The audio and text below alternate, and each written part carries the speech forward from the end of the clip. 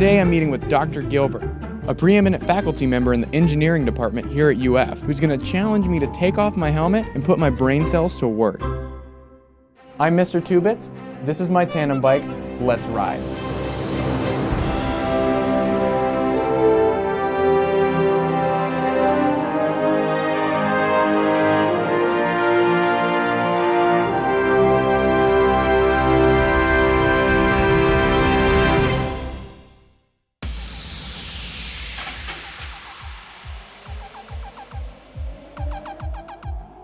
Dr. Gilbert, Hey! how are you doing? Good, welcome. Thank you so much for having me here. Where where are we right now? You are at the Harris User Experience Research Lab.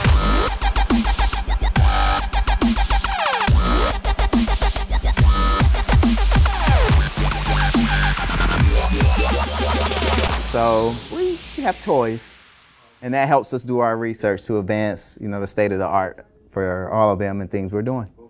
So cool. So, would you like to go on a bike ride? I, I brought my bike up here. You want to hit the campus? Sure, let's go. Let's do it. All right, And so you've never done this before? never done it. Well then, there's a first time for everything. So there we go. Oh, I love it.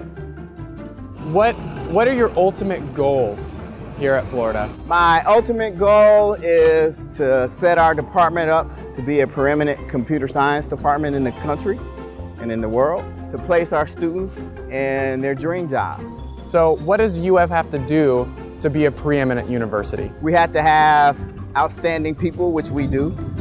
We have to work on things that people care about, which we do as well. And then most importantly, we got to let people know we're doing these things. So, what has been one of your favorite things that you've done um, so far here at Florida? We created a technology that allows everyone to vote on the same machine independent of their ability or disability. New Hampshire went statewide this year with that technology. Really? So it's a huge impact. That is no small deal. So here we are. We're going in to check out some of some of what your team's been researching. So you fly drones in the gym.